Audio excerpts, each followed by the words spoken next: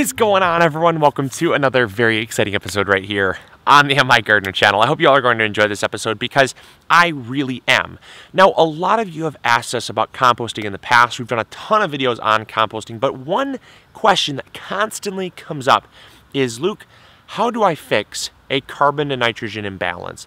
It's very it's a very simple solution, but it is a very common question. So I thought I'd talk about that because we do have a tiny bit of a nitrogen to carbon imbalance going on here in our compost pile. So in the fall, this is typically when this happens. During the main growing season when you're getting lots of food scraps, grass clippings, a lot of stuff like that that's nice green material, typically nitrogen is in a surplus and you actually have to kind of go finding some some carbon sources, whether it's shredded leaves or uh, shredded newspapers, things like that. Usually not as difficult to to find that balance. So you have good composting. However, in the fall, as we get closer to the fall, you get a lot more dead grass from stress. You get a lot more uh, leaves falling from the trees those are, are very high in carbon, but not very high in nitrogen. And often what happens is the compost pile, we start a new compost pile. We have the finished one over on the other side. We have this beautiful, huge compost pile here, it often uh, goes a little bit slower than it would during the main season, or it might not compost hot whatsoever because there's too much carbon. You see, the bacteria found in the compost pile utilize nitrogen to actually begin the composting process. That's why if you have wood chips on your soil or a mulch and you accidentally turn that into your soil, usually you have a nitrogen deficiency after a little bit because the nitrogen in the soil is actually being utilized by the bacteria to break down that organic matter. Now, the flip side is that once the matter is broken down, there's usually nitrogen given back to the soil after the process, but it's held up temporarily in a process called nitrogen sequestration. So what's happening is essentially there's nitrogen sequestration going on inside our compost pile, and the compost cannot reach its maximum potential because there's not enough nitrogen. Now, the first thing you'll notice is that maybe your compost pile, even though it's this high, three foot by three foot by three foot, nine, uh, or sorry, um, 27 cubic feet, um, 27 cubic feet of of organic matter. And you're not reaching that 130 140 degree mark where it's really heating up it's really getting hot and it's composting quickly Another thing is it might be turning anaerobic. It might not be uh, breaking down at all. It might just kind of be turning sludgy. That's another thing to consider. Um, maybe you don't. That's that really helps with the nitrogen. It kind of helps keep that that uh, oxygenation, that that um, aerobic life going on in your compost pile. That's another thing to look for. It's kind of getting a little methane It's kind of not uh, smelling as um, as organic. It's smelling a little more like a manure.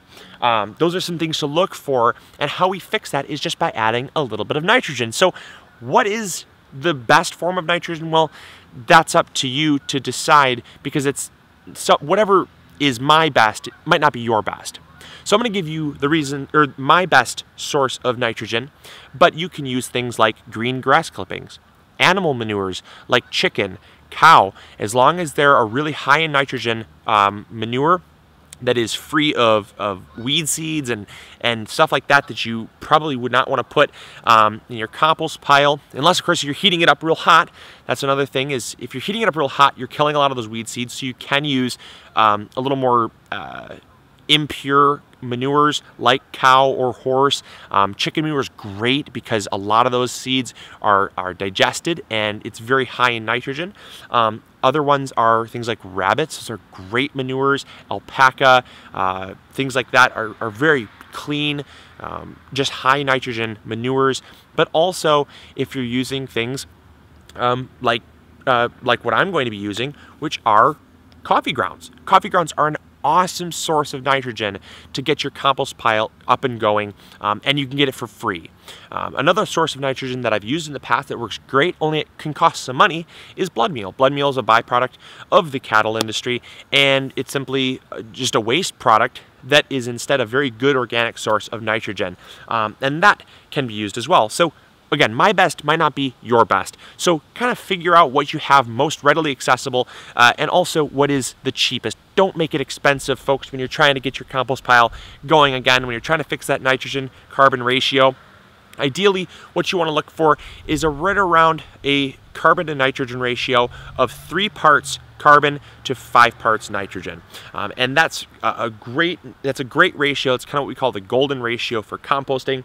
And uh, and so all we're going to do here is we're just going to fix that with a little bit of compo uh, a little bit of coffee grounds uh, by putting those into our compost pile. All right, so it's getting dark here, but I want to get this video out because I think this is going to help a lot of people. So what these bags are are actually uh, coffee ground bags given to us by Starbucks. Now, if you have a local um, a local coffee shop, they go through tons of these, and these are free. All you have to do is just pick them up. Look at this. Check that out. See right there? Free.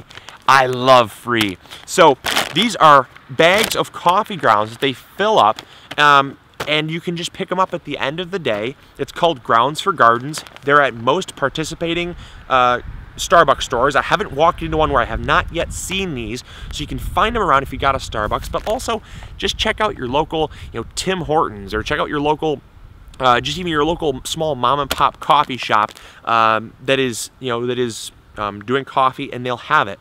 Another thing that's great is tea bags. Tea bags are often uh, used in those same type of uh, stores and they'll often throw those in there as well. So these are beautiful.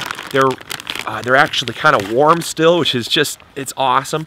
But look how nice that is. Not only is this going to add nitrogen in beautiful amounts, but it's also going to add organic matter, which is going to help your soil structure over time. So it's a win-win situation.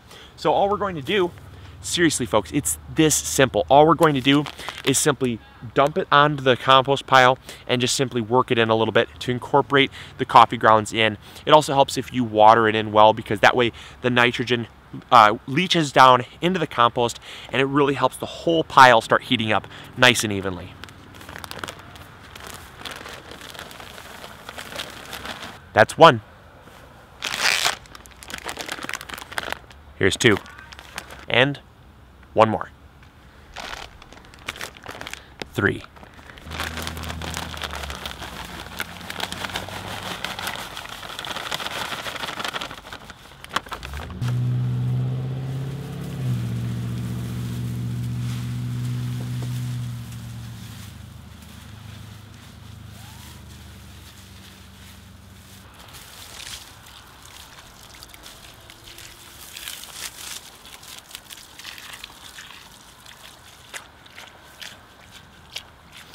Really get the water in there too. That water definitely helps the composting process.